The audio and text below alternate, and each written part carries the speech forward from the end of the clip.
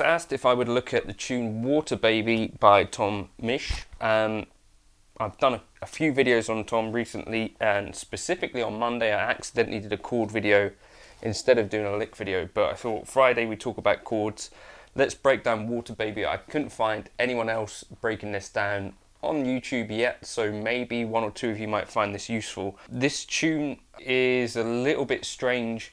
I think some of this, you know, might be jazz influence. I think also in the London scene, the idea of kind of parallel uh, chords and stuff. It's not necessarily like strictly jazz harmony or anything, but I'll just talk you through. It's like this idea of looping. It's a chord vamp that goes around, but let's just talk through it. So I'm hearing the home for this predominantly.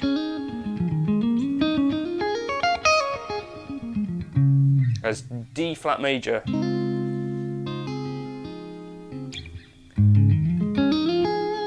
And we start, in my opinion, on chord 4. And that's kind of the first part of the vamp. So we start down here. I'll show you on the screen the live kind of chords that I've grabbed this from. I, I watched his video playing this at the Jazz Festival in Montreux. Or was it Montreal? I don't know how you say it. So we get this. So we start with a G flat. Um, so here, second fret. Uh, I'm playing that with the thumb, and I think he does too. And then we get the F here. And then we get a B flat here. And then on the second fret, we get a D flat, right? So you have thumb, like that and then we move down to an F minor and back up so we get a and if you've learned any Tom Misch before you will have learned this kind of chord. Every progression that I've looked at of his, his includes this somewhere so this is like a sus chord. It can be either minor or major because you know that's the, the job that it can do. Um, so here we've got a B flat on the 6th fret and A flat on the 6th fret as well on the D string. A C here on the G string at the fifth fret, and then we have E flat here at the top on the B string on the fourth fret. So you get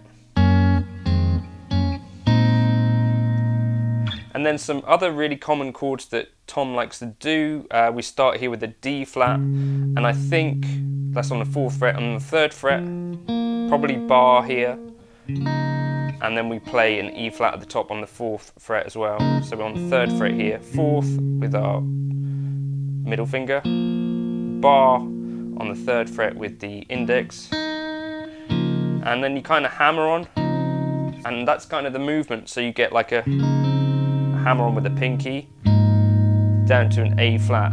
So you get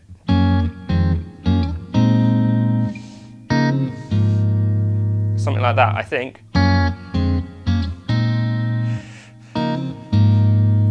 The keys are playing even more dense voicings, but I think this is what Tom is doing live.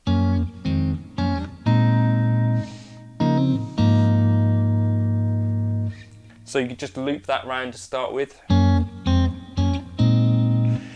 And you could think about this as chord four, three, four, six, one, five, four, three, four, six, one, five, four, three, four, six, one, five.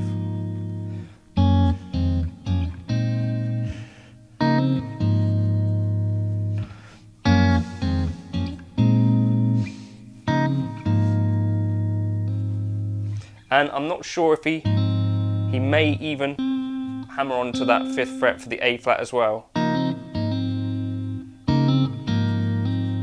Sometimes, or he may not. So you might get something like.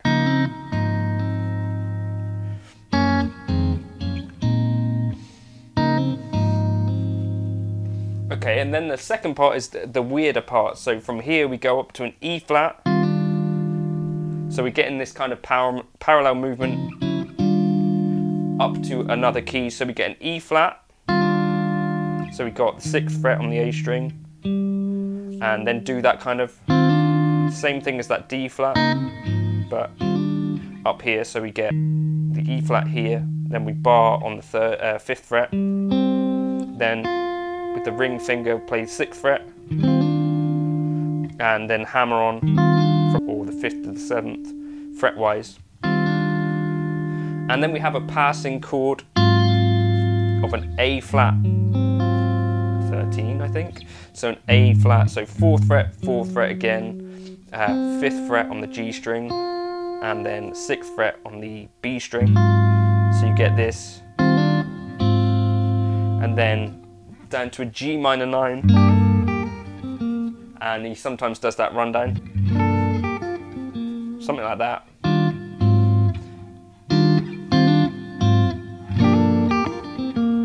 Something like that, yeah.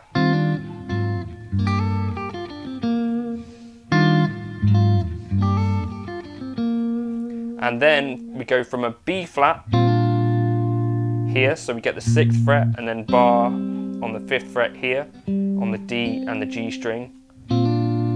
And the same idea again from the fret fifth to the seventh, hammering on.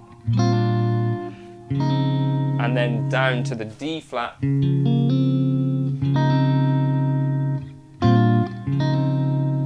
And we're hammering on from the third fret to the fifth fret. So you get slowly something like this.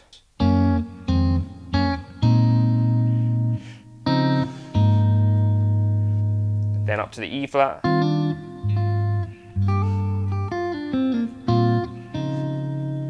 And you know, some of what he's doing with his pinky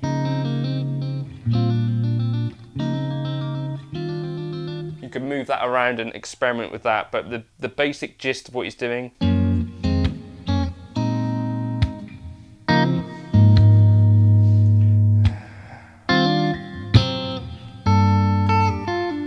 and then something like that.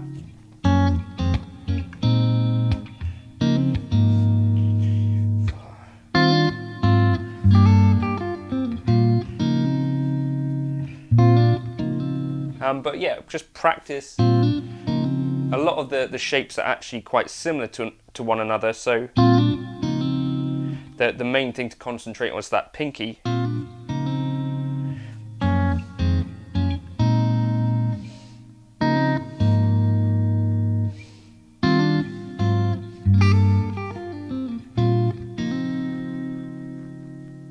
Okay, um, so in terms of the, the key, so this first part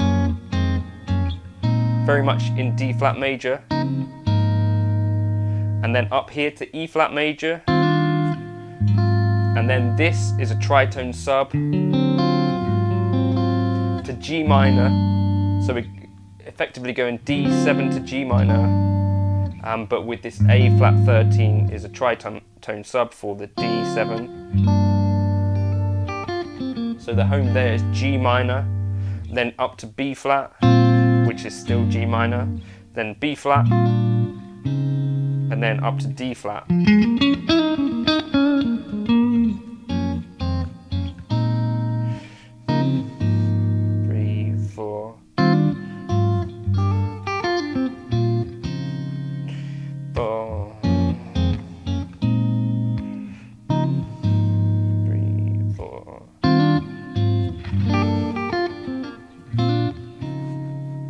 Yeah, those are the, the chords for that vamp. Um, and I think also the home for them. So just again, four, three, four, six, one, five, then up to E flat for a key change, five of G minor, G minor, which is now home, B flat, the relative G minor, to D flat major. So we're back to our kind of square.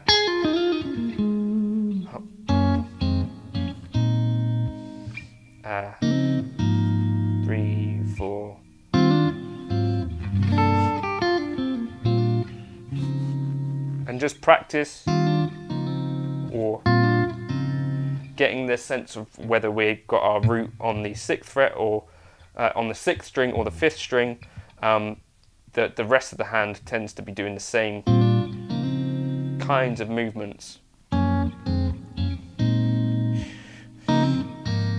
Three, four,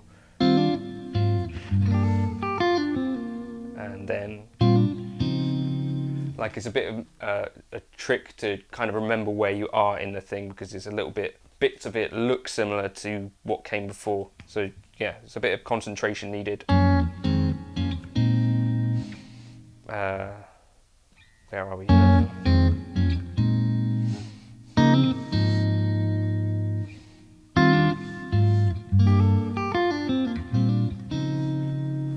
But yeah, hopefully that was vaguely useful if you were looking to play Tom Misch's Water Baby. I'll put together an intro and backing track now, which you'll be able to grab on Patreon if you want to, but hopefully you could kind of just work it out from there if not.